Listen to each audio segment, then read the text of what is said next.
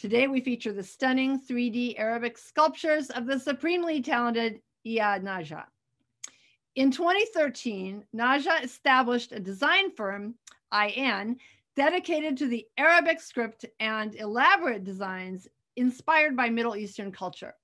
He's currently pursuing his postgraduate degree in Islamic art and architecture, which is clearly informing his goals of translating the various styles of Arabic script from ink on paper into three dimensional functional works of art that play a part in our modern world.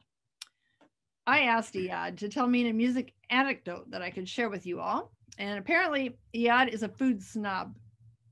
He told me that whenever he goes to the cinema, he cannot stomach the traditional food on offer. Instead, he must bring his own cold cuts, seafood, caviar, and a small bottle of chilled white wine. Sounds good, right? But does Iyad risk getting booted by security for smuggling this in himself? He asked his lady friends to carry all this food of his in their purses for him. Well, Iyad, my suggestion is that you get yourself a bag and do your own smuggling from now on. If I were your girlfriend, I would ditch you and eat all that yummy food myself. Okay, without further ado, let's welcome Iyad Naja. Hi, guys. Thank you, Priscilla. Thank you, uh, for uh, introducing me. I'm very happy to be uh, here with you today. Um, and uh, I just learned that this is the, the first lecture for the summer. It's exciting. So uh, yeah, uh, let's commence.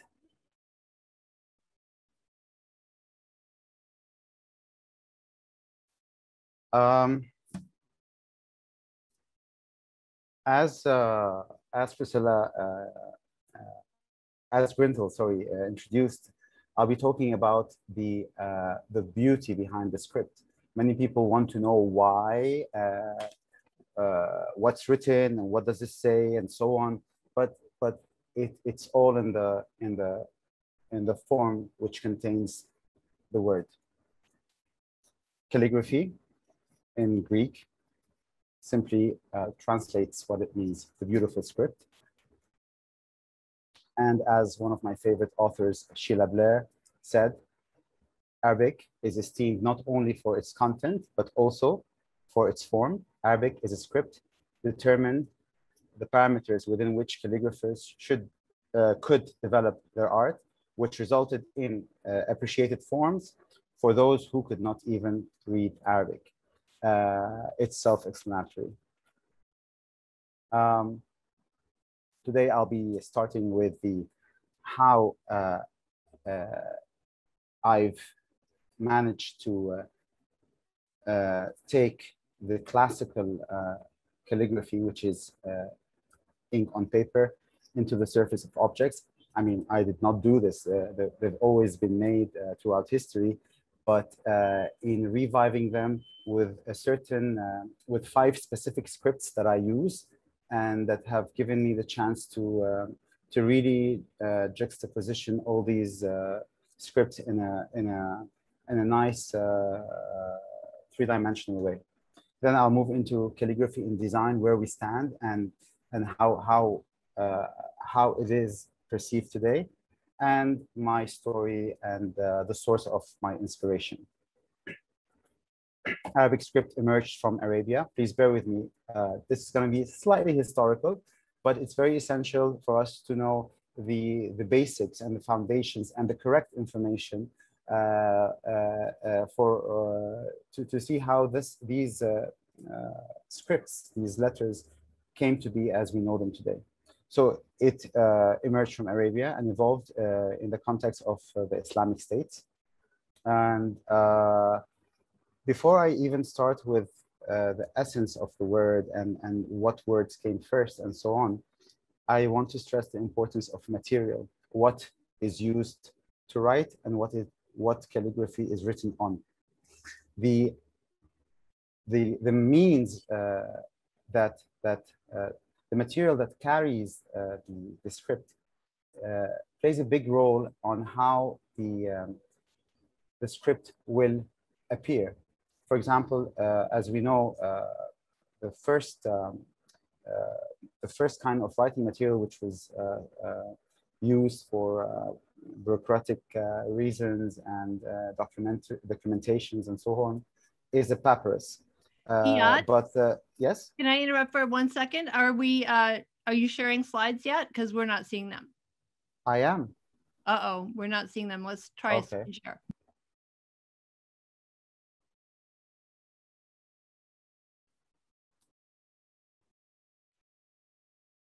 Let's see.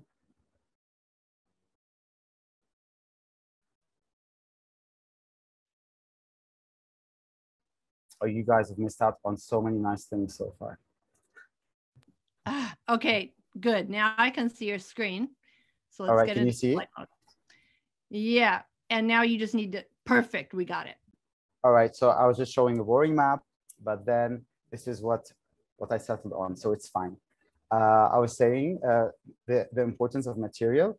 The first right, uh, uh means by which uh, calligraphy was trans, uh, transcribed on other than stone or other elements, uh, which is something that's mobile, is the papyrus paper.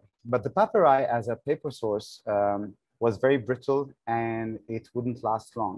We had a problem. You have here you have a new empire uh, that has had to announce its new fate. Uh, we're talking about the seventh century, but uh, the means by which you want to to spread the word um, is not feral and uh, it, doesn't last long and it ages quickly.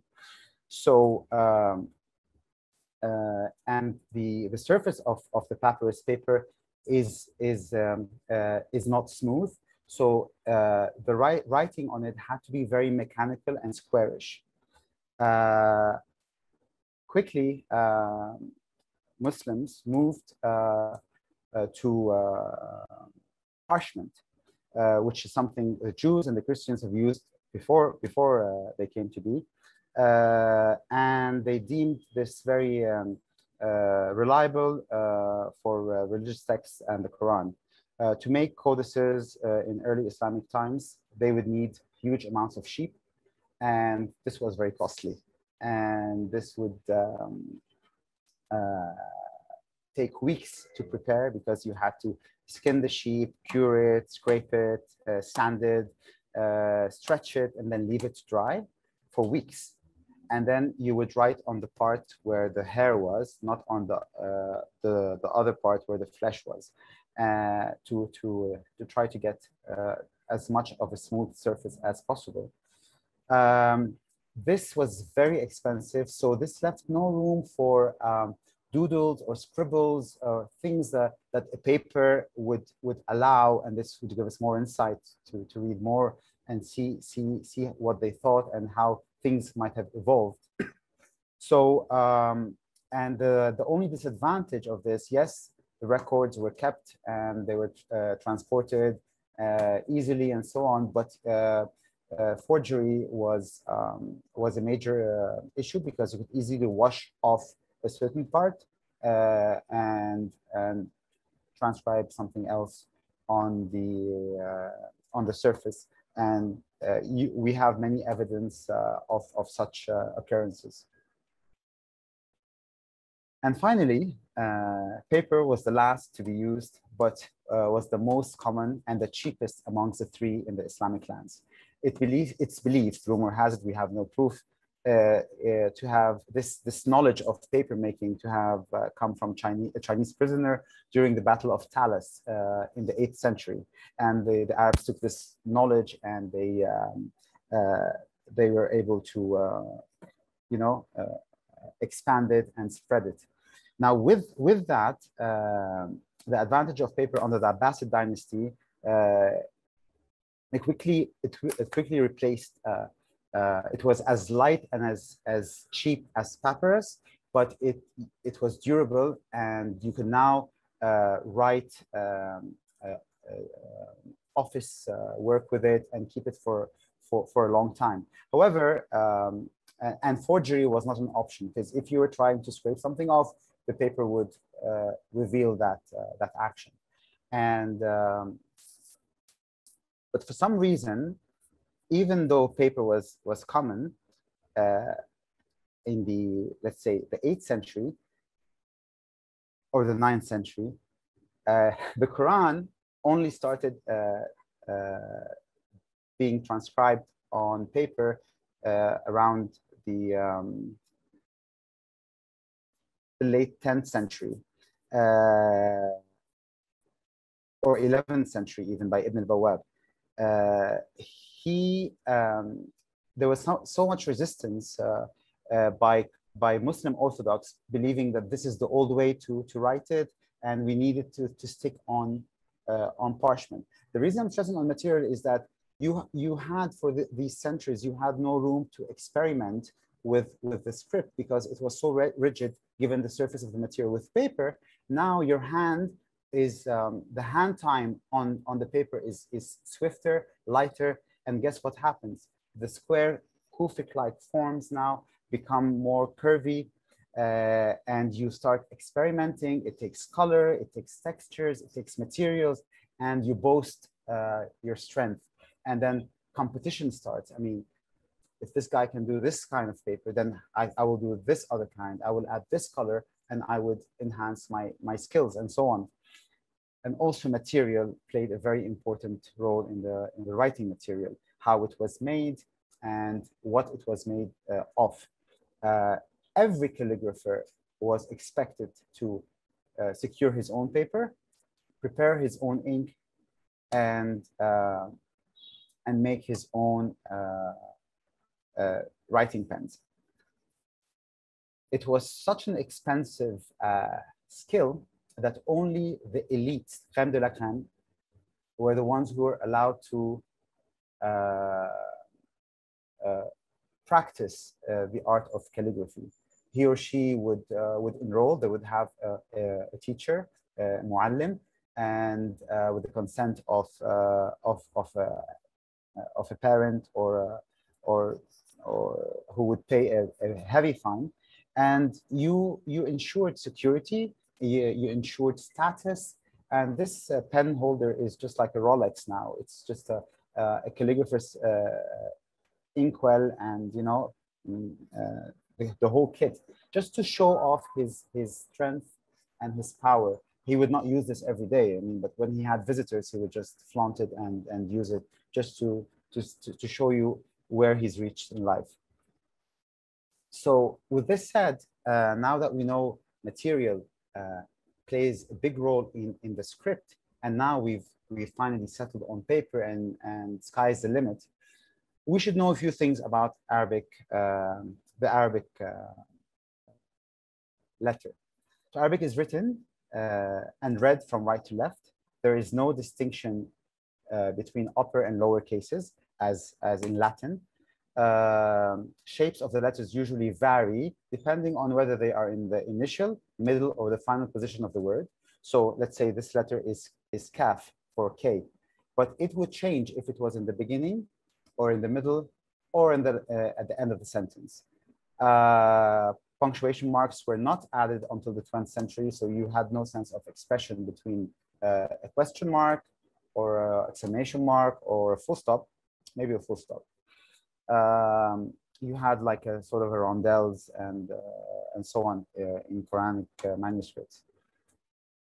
Short vowels represented by a set of marks below or above the letters aid in the uh, pronunciation of uh, uh, a word. So for example, if we have a b, but with a, with a certain symbol above it, you go ba. And if you have it below, you go b, you know? And you, if you have this form here, you go u. So it just, it's not so hard as having the actual vowel, but it just sort of enhances it. Uh, now that we know this, let's move uh, to more interesting history. And I'd like to show you this, uh, this uh, sort of graffito. It's the oldest inscription, uh, Islamic inscription uh, till, till date. It's, um, it's, the, it's called the Zuhair inscription. And it's so interesting because we know, we know, we know, we know of it because it's dated. We don't get much dated manuscripts or sorry, inscriptions with Arabic calligraphy, as you can see. Uh, the there's no proportions, there's no hierarchy. Uh, the words are jammed. It's uh, it's just like an explosion of words. Uh, for those who speak Arabic or understand Arabic, they know what I mean. Uh, there's no discipline. There's no um, there's no order. And it says, uh, in the name of God, Bismillah, أنا زهير كتبت أنا زهير كتبت زمن I wrote in the in the reign where Amr uh, maybe it's Amr al-As when when Amr died uh, uh, in the year 24.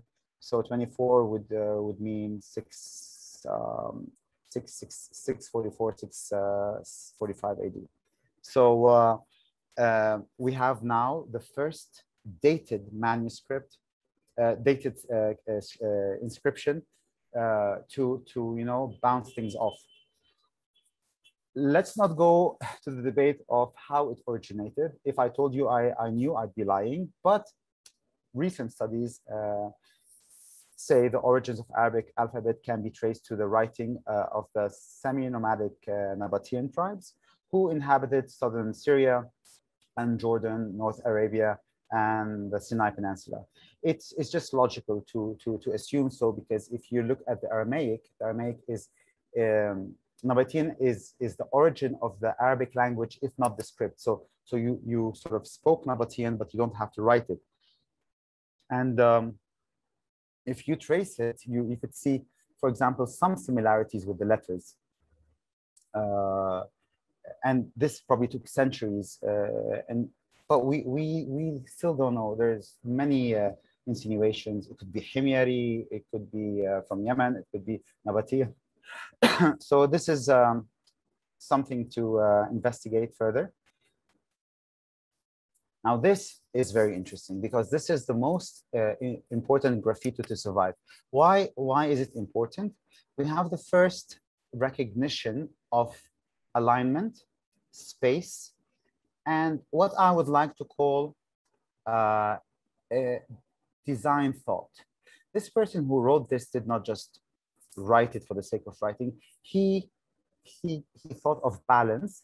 He thought of separation. Uh, I mean, imagine writing this here uh, on, on, a, on a bent rock. And what's interesting is we have these letters. There are the lams. It's called el tarif. It's like the, the, the word the. It, it informs. But what he's done he wants to say that this, this sentence does not end here as would be the norm, but continues down there. So he kept the lam for this, which would have to go with this here. So you know that you should go uh, uh, on the line below and so on and so forth. So this is, uh, I, I, I think it's a very uh, important uh, graffito uh, and it is, it is dated uh, given the ruler's time. And uh, it gives us a lot of insight to compare. As you can see now, we're in the seventh century and, and the line is, is angular. It's recalling what we would now know as Kufi. But then uh, when the Islamic Empire was starting to take place during the Umayyad Empire, it was time to, to do campaigns. These coins are like flyers the, the, the, the caliphs knew that this would circulate worldwide, it's gold. So they took impeccable, um, they made them impeccable in the sense that they, they, gave, they gave it time and they made every letter, uh, letter uh, legible and clear so that uh, uh, every the, the announcement that there is no God but God and Muhammad is his prophet is clear to everyone. It's uh, these guys are here new and they're just you know trying to, to announce a big event uh, to whomever they can. And, and they were perceived as, as uh, uh, the, um, the chosen ones by God then, and, and, uh, and they had uh, a lot of invasions and they conquered a lot of, a lot of states and they expanded. So they were sort of on the roll.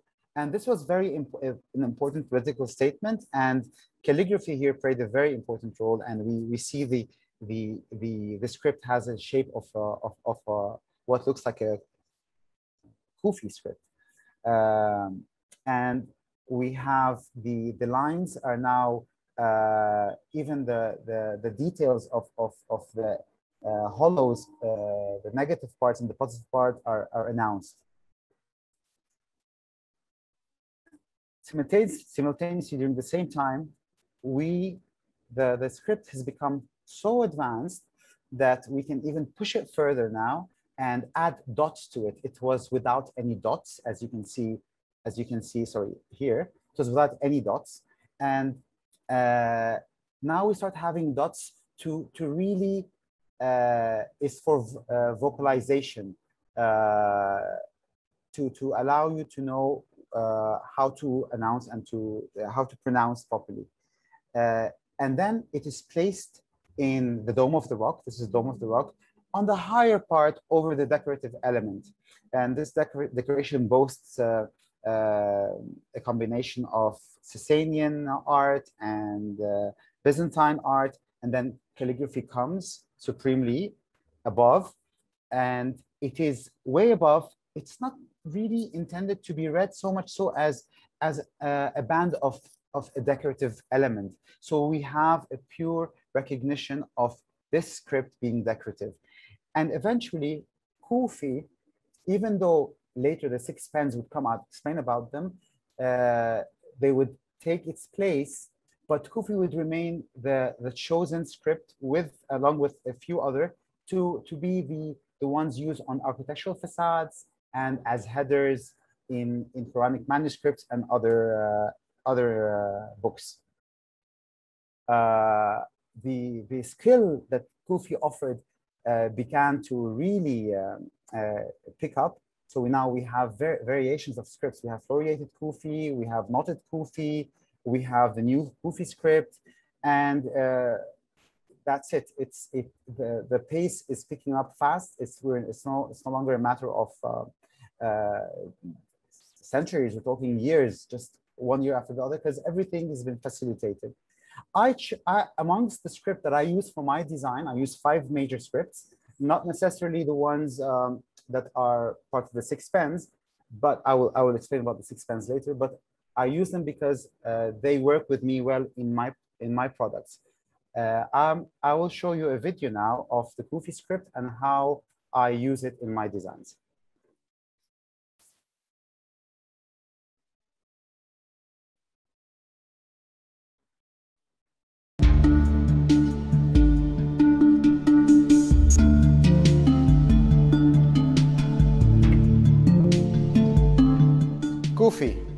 The first calligraphic script to gain prominence in Qurans and on architecture and portable works of art was the Kufi script in around the late uh, 7th century. It features angular letters, horizontal formats, and thick extended strokes. The earliest surviving copies of the Quran from the 8th to the 10th century were copied in it. Eventually, variations of Kufi scripts emerged. Examples range from letters intertwined with vegetal ornaments known as floriated kufi, to letters that appear to be woven into knots known as knotted or plaited kufi. It went out of general use in about the 12th century, although it continued to be used as a decorative element on architecture objects and paper to contrast with the scripts that superseded it.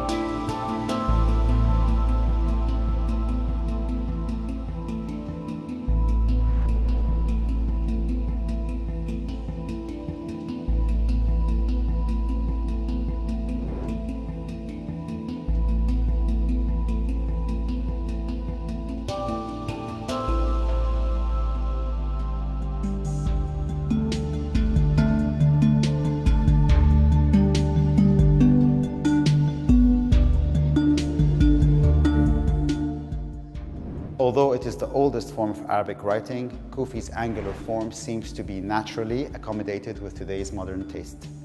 The letter counts are studied as per the scale and proportions of the desired objects, and a few words are added or omitted for the final result intended. So clearly here we have the power of form over content. When experimenting with Kufi in my designs, I realized that it gives much room for stylization as long as the negative and the positive spaces are evenly distributed. The beauty of this uh, linear script starts to appear in production. It can carry within its letters long messages such as poetry, phrases, or religious verses, while retaining its pleasant appeal. Kufi thrives the most when contained within geometrical forms of all sorts. The strokes in the stylized Kufi script used in my products are unified by one thickness. For a better visual impact that serves the end result of the product, the lines are then placed in levels of backgrounds and foregrounds.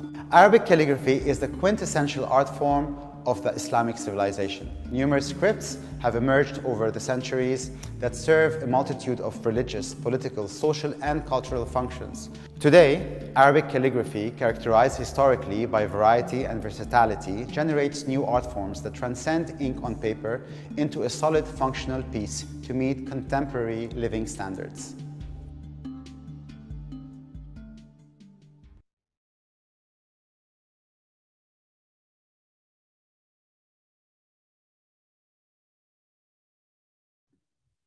Hey, Iyad, you're muted and we need to see your screen again.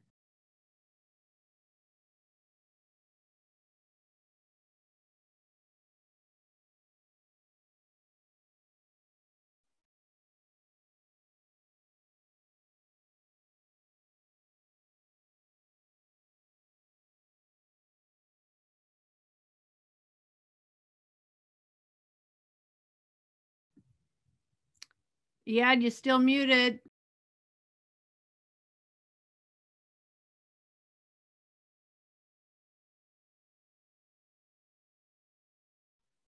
Do you, do you see my screen now? You're back on and I hear you. Great job. Yeah. Uh, do you guys see my screen? Yeah. Excellent. Excellent.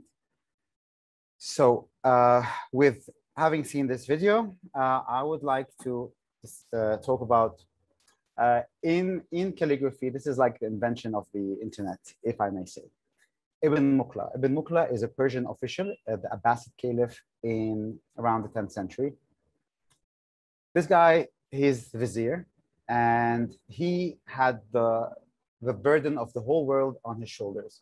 He, uh, he had uh, ambassadors to uh, collect taxes, you know, in, in Baghdad then, it was the capital, and, and he, they, they, they owned a huge vast of lands and, and countries and so on. And, and he would get back correspondences and it would look like the first graffito sculpture that I showed you because uh, someone from Yemen would write in a different way, someone from Andalusia would write in a different way and so on. They all wrote the same alphabets, but the scale was, was, was horrific. I mean, uh, imagine uh, the letter U uh, and the letter M and and then you get another another country that's sending you the letter M or the letter U, and and it was just uh, time consuming and time is money. And for any myths that, uh, I'm sorry if I may uh, sound uh, very blunt, it, this is where the fine script came. It's not uh, for any other reason more than just for the sake of proper business orientation and faster, uh, more control faster, uh, uh, um, you know, uh, faster correspondence. So what would happen is he devised the proportion script. The proportion script is all the letters have to be proportioned. There's certain dots to the alif here, to this a, to the mim, to the waw, to the to all the letters. And how would that be made? It's made in the proportion uh, by uh, using a rhombic dot in the shape uh, formed when the calligrapher presses his or her pen to a paper in one downward motion, producing the diamond shape. So if I want the same letter uh, in a big scale, I just have to get a big pen, do the same proportion of the dot, and I have the same proportion alif, and so on. So we had what we call scalability. And then what happens is something genius because the whole letters were now canonized. The script was canonized by Ibn Muqla and everyone in all the nations of the Islamic lands wrote one language one scale. And this really expedited everything. Trade was faster, uh, art was booming. Calligraphers now were experimenting because they, they had they had structure. Uh, you see what we now see as a, a new as a Kufi form with uh, with with the canonization of the script. We have this um, sort of uh, the letters are now set together. Uh, there's little space between the groups, but you can you can read them because the dottings are there, and it it uh, it had this it has this diagonal uh, feel to it as opposed to the former rectilinear Kufi script used. Uh, so uh, after Ibn Muqla, after Ibn then his pupil Ibn al-Bawwab, another Persian calligrapher, uh, what he did was he standardized the, uh, he gave them rules, the Arabic uh, script. And um, he was active uh, till about the early 11th century. So Ibn al-Bawwab was also credited for more cursive handwriting, which helped standardize the six pens the six pens would now become,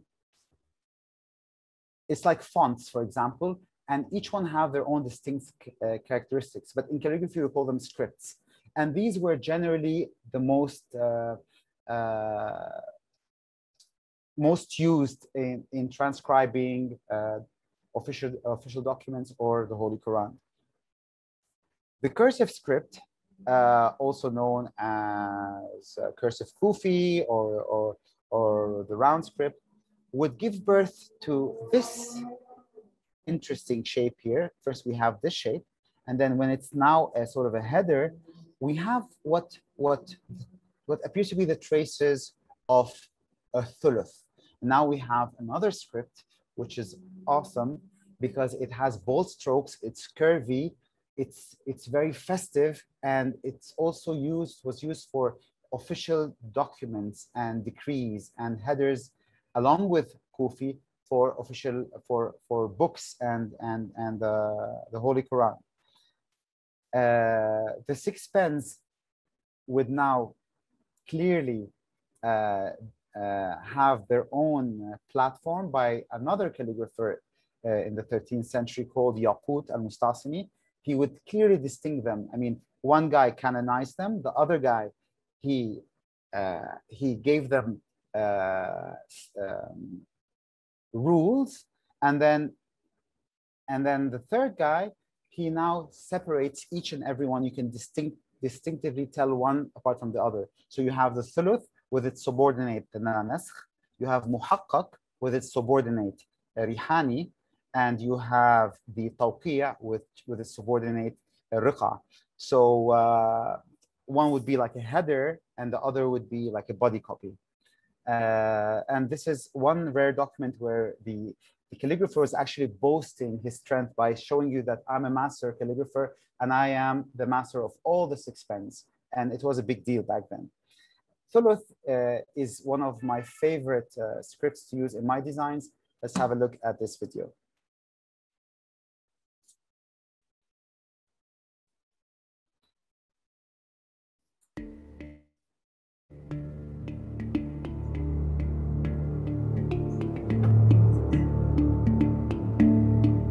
Thuluth. A new system of proportional cursive scripts was codified from the 10th to the 13th century in Baghdad.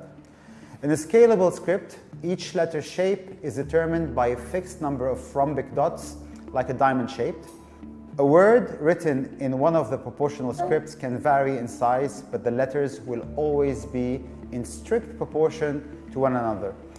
There are six proportional scripts known as a six pens, nastaliq, ثلث محقق rihani, توقيع and ruqa.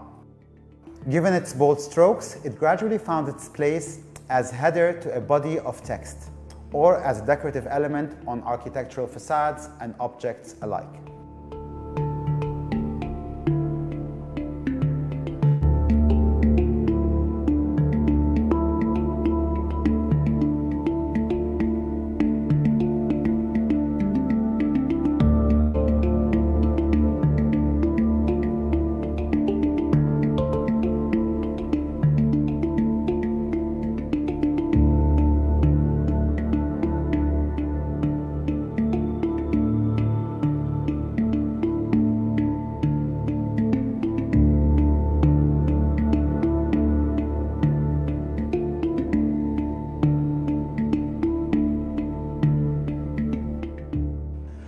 Script is marked by its clear structure and legibility, which makes it suitable for others and as a decorative element on the facades of architectural monuments. It remains my most reliable script while producing my products.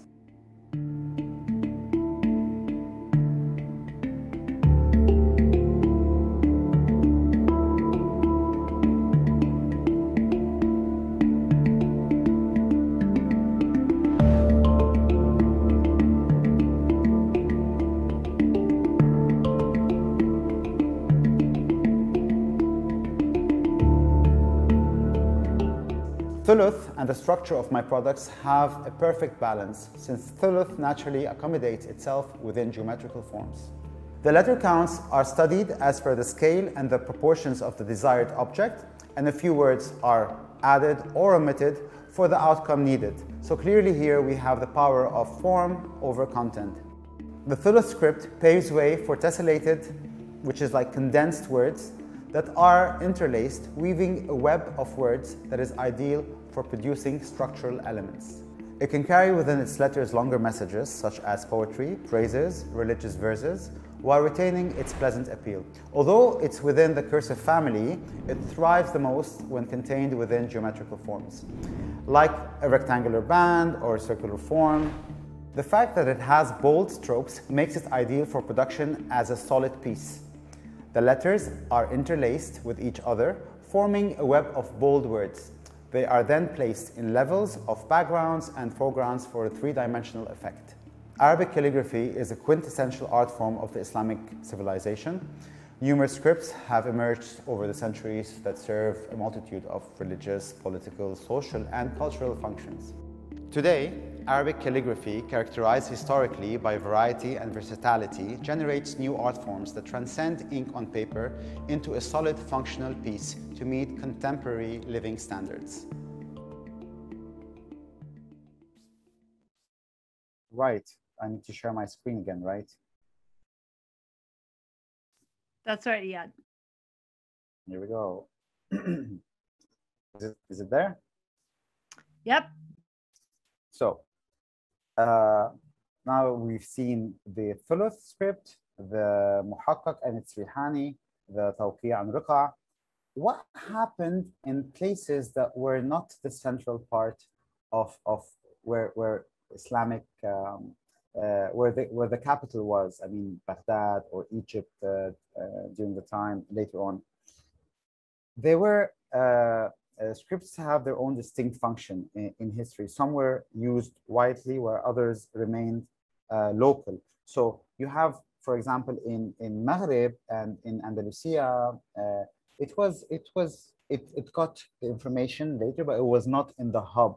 So something like a hybrid morphed and you have the Maghrebi script. And then this beautiful script called Nas came to be uh, Nastaliq, uh, it means the, the, the hanging or the floating script. It's so light that even when writing it on paper, um, uh, you have to take the time to, to transcribe it because it has its own way. You had to do that. The um, uh, flowing script uh, originated in Iran and Central Asia. Uh, and also spread eastwards to become uh, popular in the Mughal and Indian and Ottoman Turkey. Uh, this is an example of Kufi Maghribi on, on paper, and this is a beautiful example of Nas Um, it was so much uh, uh, in favor uh, it, uh, that the, the the chancery in the, in the Diwans, uh, in the Ottoman Empire around the uh, 16th uh, century, two centuries later, I mean, Nastaliq was, was uh, discovered around the 14th century. So in the 16th century, the Diwans wanted a faster version of Nastaliq where they can actually write their, their records and so on. So, so uh, it gave birth, but there's no proof, but study shows that it gave birth to what we call the Diwani script. I will I will show you uh, another video uh, where I got inspired.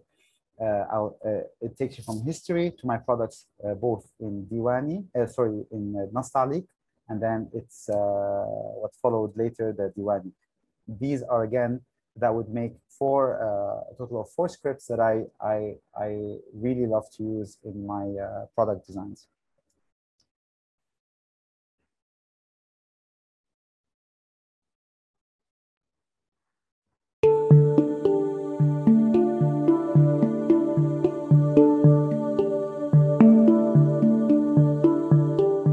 Nastaliq. Scripts have their own distinct function and history. Some were used widely while others remained local. One of those was Nastaliq or the hanging script, which is a flowing script that originated from Persia and Central Asia in the 14th century. Then spread eastwards, becoming popular in Mughal and Ottoman empires.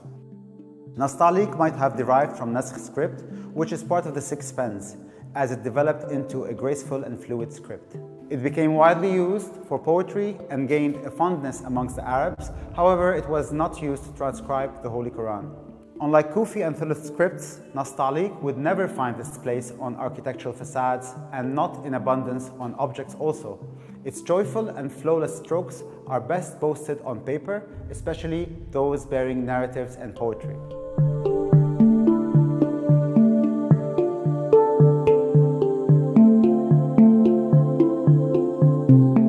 Integrating Nastaliq with my products is only possible when it comes to wall arts that I make, as opposed to my other functional pieces due to its strong presence and motion. To maintain its curves and lightness, this script forms a bundle that can only accommodate two to five words. As much as we try to control the flow of the words within this bundle, it's always best to let the motion of the script guide us into the final form, like a Sufi swirling in a trance. Evidently, we have the power of form over content, and the element of surprise is always worth the anticipation.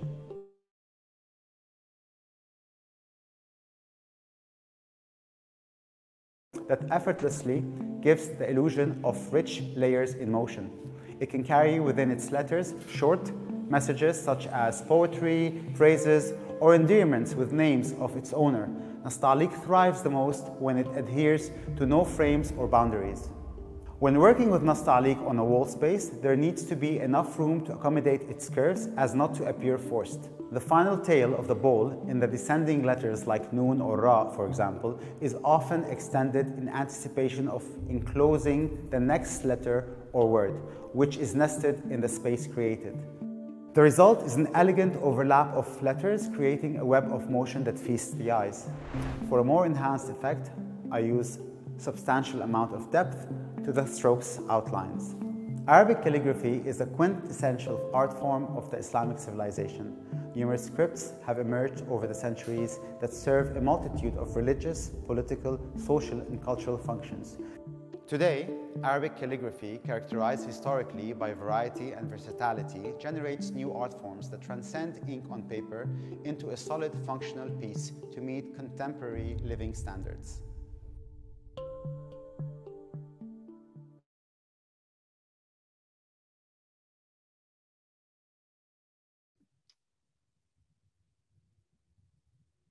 You muted, Iyad. Hello again, guys. So, uh, can you see my screen again?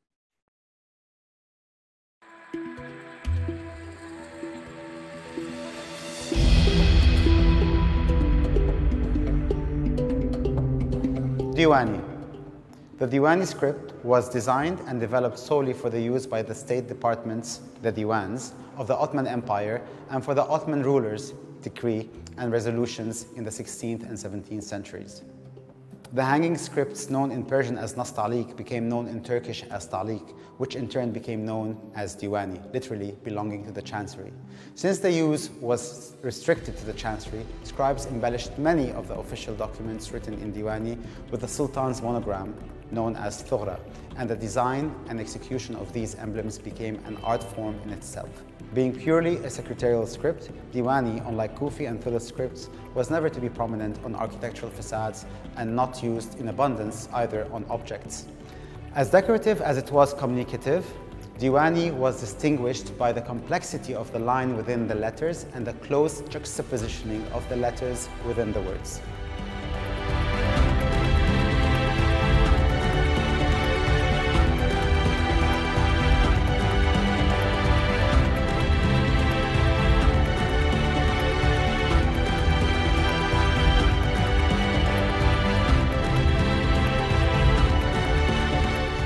Unlike Nastaliq's limitation in words, Diwani gives me the ease of accommodating a number of words on the surface of my products. It acts just like Thuluth in that the script is legible and can be either structured within geometrical forms or left floating, and in doing so, it recalls the foundation it shares with Nastaliq.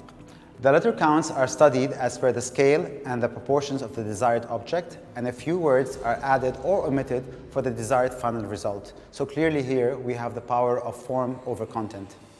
Diwani script, when used in my designs, creates a complex web of words that are interlaced delicately, enhancing the refinement of the product that it forms.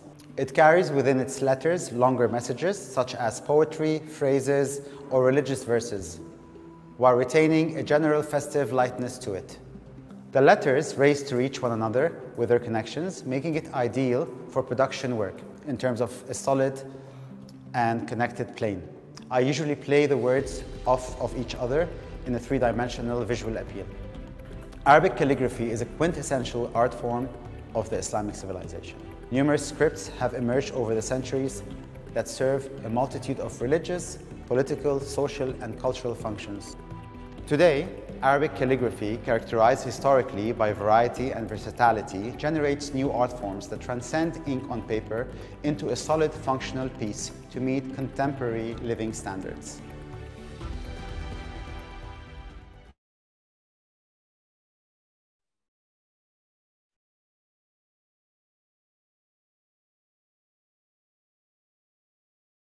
So again, uh, so, so you've seen now, you've gotten an idea of uh, how uh, these these uh, scripts, uh, the four scripts that have been around for centuries, how they can now be repurposed into into um, solid solid forms and they can be pleasing to the eye. They're, they're part of your architecture. They're part of your daily lives. Uh, they're not just um, uh, hanging calligraphy on, on the wall uh, frame. And, and this is the beauty of, of, uh, the, uh, of our culture. We have this wealth of, of knowledge. Uh, the trick is not to take it for granted. It's the trick is to repurpose it and see if it can accommodate itself in, in our modern living standards today. This said, I would like to have a sneak peek on calligraphy today, where, where, where it is so uh, it calligraphy around the 60s, 70s, and 80s of, of uh, the 19, I mean, 20th uh, century uh, um, went calm because it was the birth of the printing press and uh, it was a new craze and everyone was printing. You can now uh, have 20 posters, 100 posters. You can now no need to call a calligrapher to for your wedding invitations to sit there and and, and do the calligraphy for you uh, because we can now do, the, do them in one day. so so what happened is is the the remaining calligraphers that we uh, that that had this as a job uh, uh reframed it within uh, within a hobby, and it was starting to die out um, uh, as a business until in in the 1990s or early 2000s, the boom uh, of the, um, the Gulf and the rise of the industries and the skyscrapers now wanted, uh, uh, wanted to revive a, a source uh, of, of a sort of a social identity. And guess what? We had uh, a basic, uh, a, a solid, I mean, platform, and that is calligraphy and then calligraphy was once again put uh, on the platform and uh, there was the audience for it. Uh, the first experimentation done during this period was the need to revive the classical calligraphy. And this, this would um, pave way uh, to other forms of art. But now we're talking about the classical calligraphy. The first two to do this were the Turks uh, in reviving the Ottoman heritage, followed by the Iranians. I mean, it's not res uh, res uh, uh respectively, but maybe. And then the Egyptians, and then gen generally the Middle East. You would end up having people trying to boast their skills by replicating the exact methods by which uh, calligraphy was was transcribed. So you have something here from the 9th century, and something from 2017. Same thing, you have something uh, on the on the left, uh, 2017, and something from the 14th century.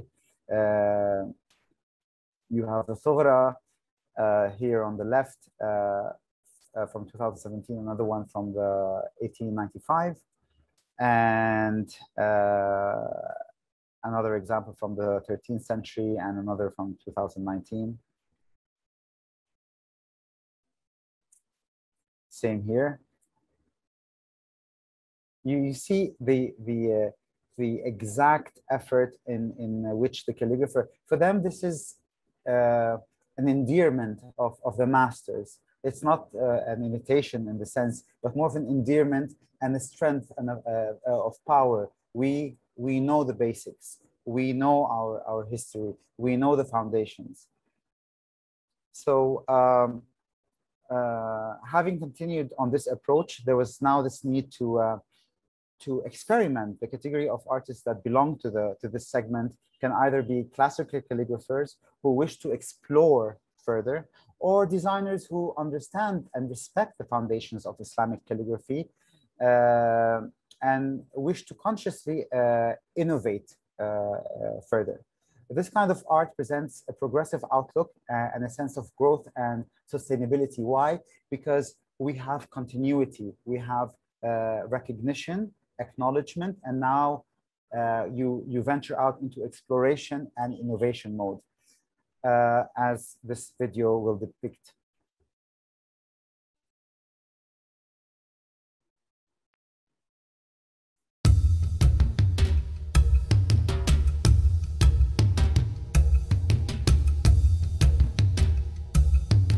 Contemporary Arabic calligraphy. It is not a new practice for calligraphers or artisans in earlier centuries to have heavily stylized the Arabic script to reach a purely abstract state. Here, the content is subordinate to the form, that is either difficult to read or completely illegible, and in both stances, its function is purely aesthetical.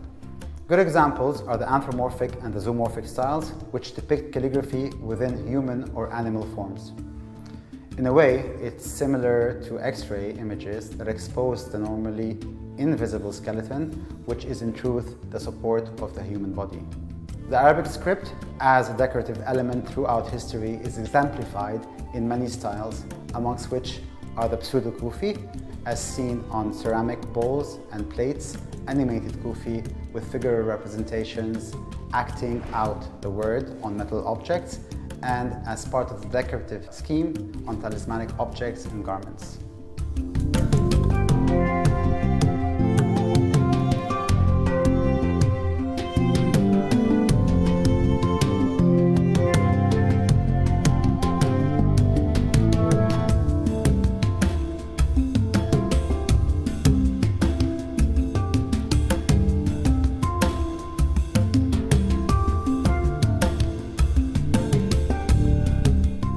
Natural beauty of the Arabic script gives us infinite possibilities for experimentation. Presently, we find much modernist and contemporary work that aims at taking calligraphy outside its frame uh, and its rules. When this is done, they fall into two groups that I categorize as the exploration approach and the innovation approach. In my design process, the exploration approach rids the script of its content as a carrier of the word and focuses on the design of the letters and their abstraction as they dissolve within the decoration of the form that they embody.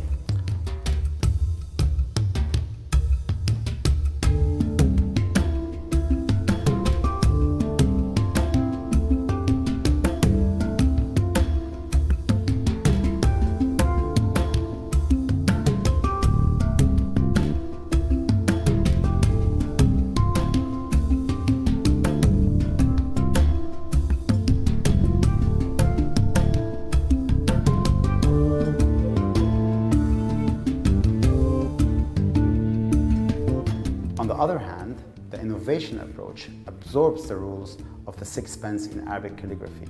It is a conscious attempt which aims at innovating a script by breaking its rules or pushing it to its limit. And thus, a hybrid script is born.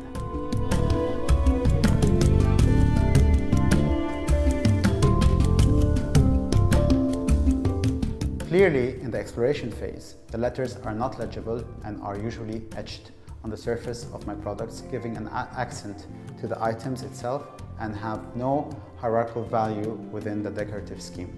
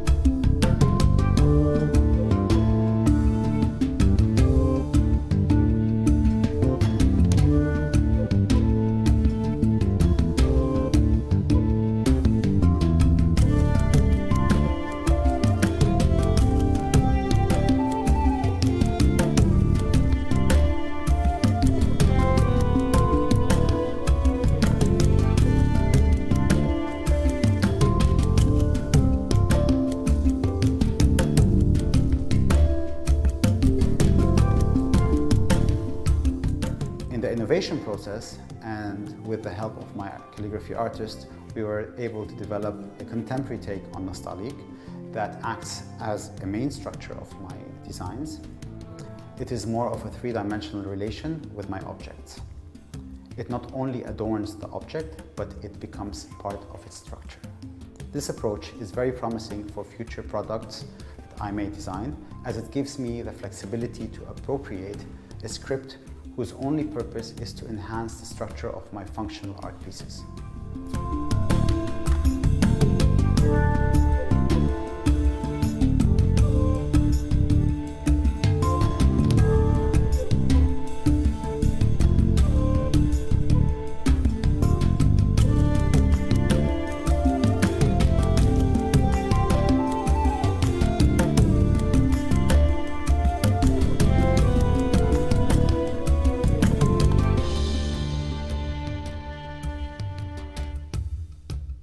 Arabic calligraphy is a quintessential art form of the Islamic civilization. Numerous scripts have emerged over the centuries that serve a multitude of religious, political, social and cultural functions. Today, Arabic calligraphy, characterized historically by variety and versatility, generates new art forms that transcend ink on paper into a solid functional piece to meet contemporary living standards.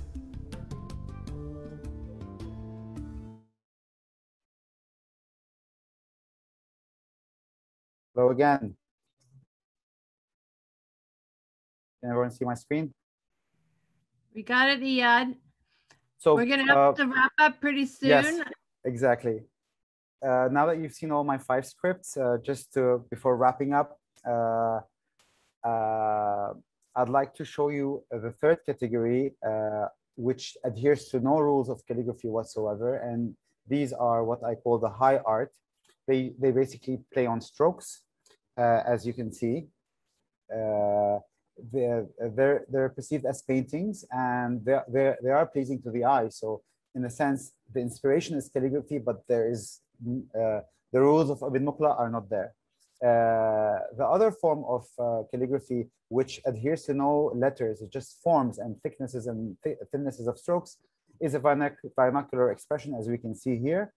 Uh, and on as body art, they they now have no rule, but they they they recall calligraphy, but they are not calligraphy. and this is funny because it says "Inta ma'afin," you're rotten. I don't know if the person who who actually had this uh, tattooed on their body knew what it meant or it's a prank, but it, it just goes to stress how beautiful the script is. Although this is not a calligraphy script, it's a font script. And you have the commercial aspect where people just take whatever is out there, toss it on a, on a, on a plate, on a box, on a t-shirt, and boom, we make money. And I don't know where to categorize that, but it sells. I don't do that. Uh, the inspiration process, how I get inspired, just to close with this, is you have to have the drive uh, to create, to always be innovative. If you just imitate, uh, you will run out of ideas. And this lady here is the essence of, of my inspiration. She is my teta, and that means Arabic uh, for grandmom. And she was in Arabic literature, and she spoke with poetry day in, day, day, day out. And she received me with two words every now and then. Uh, and when I lost her, I, took, I took things for granted, and I wanted to do these phrases uh, to last forever. Uh, and brass was the best option. And this is how I started. And then people loved what I did and wanted more. And the first one is Talent Idari. It means I've been waiting for too long. That's when I visited every weekend. And the other one is Anarat Tamarat. It means it's lit and it's now luminous with your presence. So I, I, I picked uh, Thuluth for the lamp and Nastalik for, for the wall art to do that. Um, people who don't know the process of why I do this, for example, they imitate the, the work on my the left is my work and on the right is an imitation uh, and they will just continue to wait and imitate. Uh, this gentleman here for example um, he, I just woke up one day and I found out that someone's using my image as a, a, a greeting card for for Eid uh, after Ramadan and everyone was was curious and I had to tell him this is not a Getty image. This is my face and this is my work so you get you get this sense of lack of recognition and no research whatsoever. Uh, this entails a lot of uh, uh, research material, a lot of inspiration, a lot of ma uh, material shapes and helps create the edge that the product designer should have. Uh, and it's it's by constant updating this uh, database that you thrive. Um, from marble to new cement, this this is one good example of how I combined concrete with brass and it was a bestseller. Uh, the ideas start from my sketchbook. This is for me, and then goes to production. This is for production, and this is for you, uh, the end result. Uh, if it's with calligraphy, then it has to go through a sketch, and then there's some amendments made. Then the calligraphic work is made, and then it goes into production. Color is set, the result is done, client is happy, more details. So this takes around eight weeks.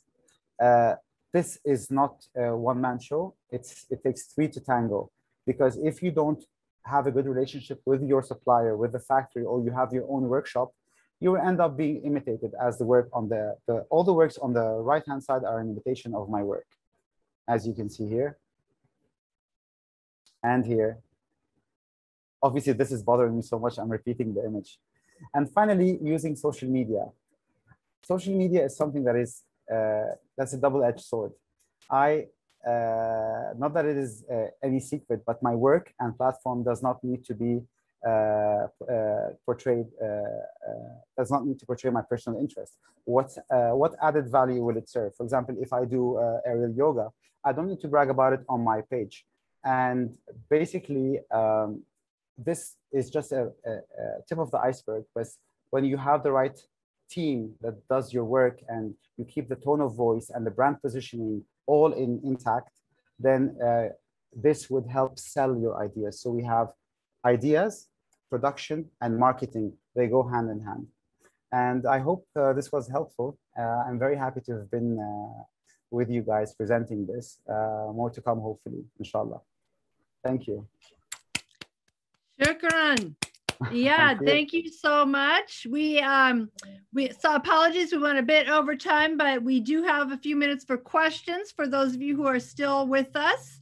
I will um read from the Q&A and uh Iyad, let's start with the top one. Remember people um if you have a question, please drop it there. So Susan Mentis asks, Papyrus has a long history from Egypt before parchment. Was it used for writing through time as inexpensive compared to parchment? Yes, it was used. Uh, uh, uh, it was like paper. It was affordable, but the only problem with it, uh, it uh, in certain countries with humidity, it did not last long. I mean, in Egypt, it would last long because the weather is dry. But if it, it was in, in a place where it's, where it's humid, it could not last long. And therefore, it was uh, not good to transcribe uh, holy, holy scripts and, and uh, secretarial work, chancery work. So this is why parchment uh, was a good substitute for uh, writing uh, um, religious documents. Okay, thank you, Iyad. Um, Susan Mentis has really been putting questions in here. She also asked, was bamboo used for pen materials or another reed? Uh, uh, I do not know of bamboo. I know a, certain kind of reeds, but uh, I wouldn't want to uh, uh, to say something that I'm not sure of, to be honest. But uh, reeds from around the region were used bamboo could have been an option, but I'm not sure. Okay, wonderful. Um, then we also have Susan's third question. Do you use traditional tools to make your Kufic designs or only the computer? Interesting questions. These hands do not know how to do calligraphy to save their lives. I work with the best calligrapher and the best production managers, but I'm the maestro. They, uh, I mean, I listen to them, but they, uh, I conduct, I know the rules of all the scripts inside out. Uh, and I know how to bend those rules and I know how to transcend those rules into three-dimensional forms. Because traditional calligraphers don't see it in that way. They see it flat on paper. Uh, it takes your knowledge um, in knowing what the rules are for the script and your knowledge in production to create what I create. That's interesting point about the the two dimensions versus the three dimensions, which is what really characterizes your art. We have a question from Ahmad Farin Sadiq, whose name I hope I pronounced correctly. Ahmad wants to know what are the main challenges during the production? Oh my, oh, I could go on forever. Okay, I'll, I'll, hi Ahmad. Uh, challenges. Uh, first of all, you need to work with a reliable source of factory because you see the problems, they don't see the problems. They just want to start production. And you have the, the deadline, especially when you work with very esteemed clients, uh, you have to respect your deadlines. And sometimes uh, we face so much challenges um, in, in deadlines, in material failures. And so we have to sort of do prototypes within the deadline to actually ensure that it would be safe in the client's uh, residence or office or, or the space where it's intended before we actually deliver. Uh, finding the right, really, the right production team is the, is, is the best thing because if you don't have that, your ideas would just be on your sketchbook. Okay. Uh, Joanna Cruz Diniz, whose name I also hope I pronounced correctly, uh, asks, do you recommend this book for learning how to write Kufic, a handbook of early Arabic Kufic script? Author uh, who's the author? Is Muhammad Vahid Musavi Jazairi, whose name I'm sure I butchered. I haven't heard of it uh, because I, uh, I I did not learn it in that sense. I haven't heard of the author. Uh, I'm sure I'm sure it's it's popular. If you want a good reference on everything uh, that has to do with calligraphy and other and, and has a good reference on the source, you may uh, you may check uh, Sheila Blair's uh, Arabic calligraphy. Uh, it's she, she starts from from the basics to present day, and she gives a lot of good referencing also. That's a great tip. Thank you. I've got it written down. I'm answering all the questions, everybody, in the Q&A, so you can refer to these afterwards. Um, let's see. We have a question from Nibal who asks, what inspires you to create? what inspires me to create? This is interesting. Uh, basically, it's a, uh, people sometimes need uh, external inspiration and then they receive it and they, they project. I think I have I have so much fuel in me. I don't need to. Uh, I mean, research is great. Traveling and being well-rounded is excellent, but it's. Um, I think it's it's my nostalgia and and my my my studies and my research. Uh, there's so much fuel in me that I always want to experiment. I'm very curious. It's my uh, curiosity, I would say. It's my curiosity for sure. Beautiful. Um, Hrant uh, Papazian writes, Your work is amazing, truly inspired to see its physicality. Do you know of Rudy Rahme? Rahme and his work? How do you, how do you spell that, please? R-A-H-M-E. It's R-U-D-Y R-A-H-M-E. Uh, no, I will look him up. Thank you very much. Uh, uh, I will look him up. I'm, I'm interested to always see others. I'm working now on a, on a, on a really uh, interesting uh, new collection, hopefully to launch sometime in late this year. So I'm very excited uh, to share it with you guys. Okay, can't wait to see that. Um, let's see, we have another question from Ahmad Farin Sadiq. As an expert, which pen do you suggest to start for beginners like calligraphy start? Ahmad, uh, I I'm not a calligrapher, and therefore I I don't want to um, to jump ahead and suggest something which uh, I may I may not be sure of.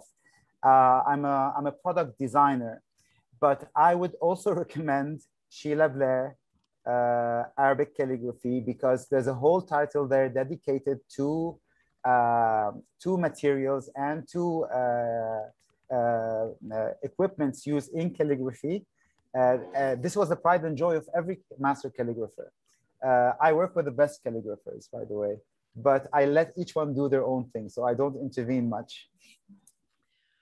Wonderful. Okay, Julia Vance asks, how big editions do you make of your objects? Is it an edition of eight or are they like one-offs or? Ah, interesting, interesting.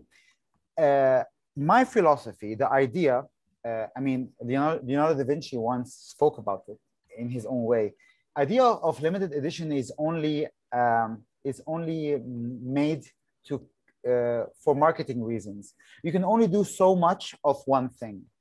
If it's that thought of that uh, uh, concise and that pricey. Uh, I mean, I can do a hundred. I'm not. I'm not a mass mass production person. I'm bespoke. When you're bespoke, you have to give it, as we calculated, a few three four months. So if I get an order, yes, I can scale up 12 stools in one month. I mean, no, in, in four months, but but then it ends there because you have you know, you have to move on. So my work is not limited unless I specify it is limited, but my work is certified and it is uh, bespoke and handmade. Okay, let me add handmade. Okay, we got that. Thank you. And then finally, um, I see Hrant, Hrant has sent you uh, has sent a link in the Q and A that you can check out of photos. Great. Um, and then Hanin Al Kulani asks, What are the steps that anyone who loves the Arabic calligraphy can take to learn more? Courses, workshops, books, any advice? He wants to develop, uh, they develop themselves in this field. I, I would say naturally start by by uh, self research and and books, and then once once you're uh, once you you know what is your interest? Because there's a difference between being a calligrapher and there's a difference between using calligraphy for design. You may you may think you like that but it ends up uh, your heart may be in the other. So do that research individually and then based on that then you may start looking into courses or lectures and so on that's actually great advice. I think that's super interesting that there's a difference between being a calligrapher and incorporating it into design. So I think exactly. you hit the nail on the head with that one. Okay. That's it on our questions, everybody. Thank you so much, um, Iyad. Brendo, once again, thank you. Shukran for joining Thank you. us. And you um, so your work is beautiful. And everybody, please uh, check the links for Iyad's website. Um, and uh, you can check out more of his work on there. Okay, it was truly a pleasure. Uh, And, um, thank you so much for for hosting me. I'm very happy to be amongst uh, your uh, your esteemed uh, uh, space, and uh, uh, thank you for giving me this chance. Really, Absolutely. And everybody, please tune in. And uh, I believe weeks for our next letterform lecture. Thank you so much. if I want to add, that if they want to see more of my work, it's all, all mostly updated on my Instagram uh, page also. Okay, links on the chat. Ciao, everybody. Ciao, ciao. Till next time. Adios. Ciao.